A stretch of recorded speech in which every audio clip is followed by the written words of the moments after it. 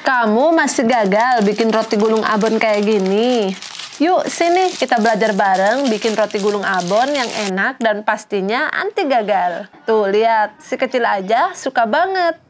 Yuk ah, kita mulai. Pertama, masukkan gula pasir dan susu bubuk ke dalam mangkuk. Tambahkan air hangat. Nah, tahu gak temen Teh Yun? Air hangat ini membantu ragi bekerja lebih cepat loh. Jadi jangan pakai air panas ya, biar nggak membunuh raginya. Kalau udah larut, kita tuangin raginya. Lalu aduk rata sampai gulanya larut. Aduk sebentar dan biarkan sampai berbuih ya. Setelah raginya berbuih, masukkan mentega yang sudah dilelehkan Aduk rata sampai semua bahan tercampur dengan baik.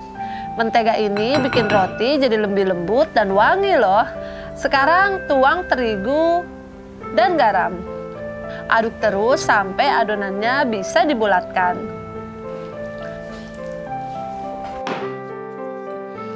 Kalau udah, tutup adonannya dan diamkan sampai mengembang dua kali lipat. Tips penting nih, Tempatkan adonan di tempat hangat biar mengembang maksimal ya. Sambil nunggu adonannya mengembang, kita bisa ngobrol dulu atau cek-cek bahan lainnya. Oke, udah ngembang nih. Sekarang gilas tipis adonan.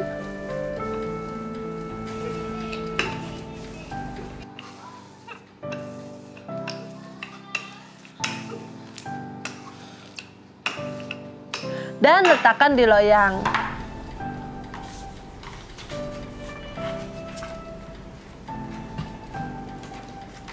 Jangan lupa tusuk-tusuk adonan pakai garpu. Dan oleskan kuning telur di atasnya. Ini bikin roti kita jadi lebih cantik dan berkilau. Taburkan irisan daun bawang. Dan wijen biar makin mantap. Tahu gak sih, daun bawang gak cuma bikin harum loh, tapi juga kaya akan vitamin C. Yang suka cabai, kalian bisa tambahkan irisan cabai ya. Ini kita istirahatkan adonannya sebentar aja. Terus kita oven di suhu 190 derajat selama 20 menit.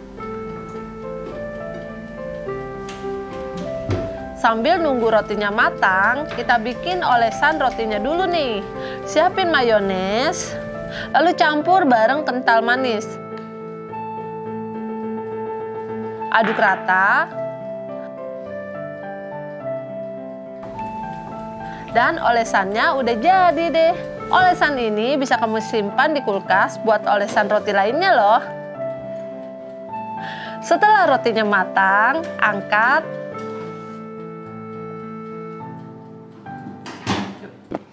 dan segera oleskan mentega supaya mengkilat dan harum.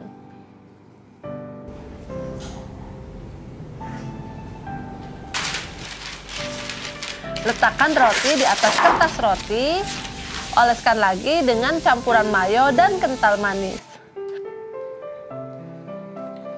Taburkan bonori di atasnya. Lalu gulung perlahan. Tahu nggak sih, bonori adalah rumput laut kering yang dicampur dengan abon yang kaya akan nutrisi dan bagus buat kesehatan. Tunggu rotinya dingin dulu, baru dipotong-potong ya teman Tehyun.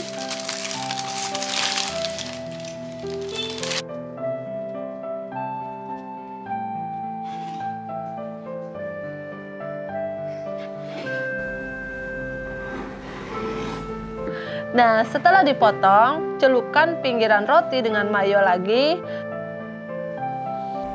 dan beri taburan abon.